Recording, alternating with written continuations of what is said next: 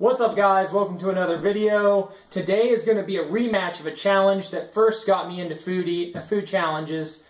Uh, it is the $20 Taco Bell Value Menu Challenge put out by Randy Santel. Uh, Randy is the reason that I got into doing food challenges to begin with um, and giving me a lot of tips and tricks through his website, uh, with, the link of which I will put in the description below, as well as his rules for the $20 value menu challenges for the various fast food places that he does. Uh, so, without further ado, I'm going to go to Taco Bell, order $20 off the value menu only. Everything's a dollar, so it'll be 20 items. And uh, we're going to see how fast I can get it done. I have to beat Randy's time of 27 minutes, 58 seconds uh, in order to do so. And uh, we're going to see if I can get through all the food and beat the time and win one of those sweet t-shirts. Catch you guys at the end.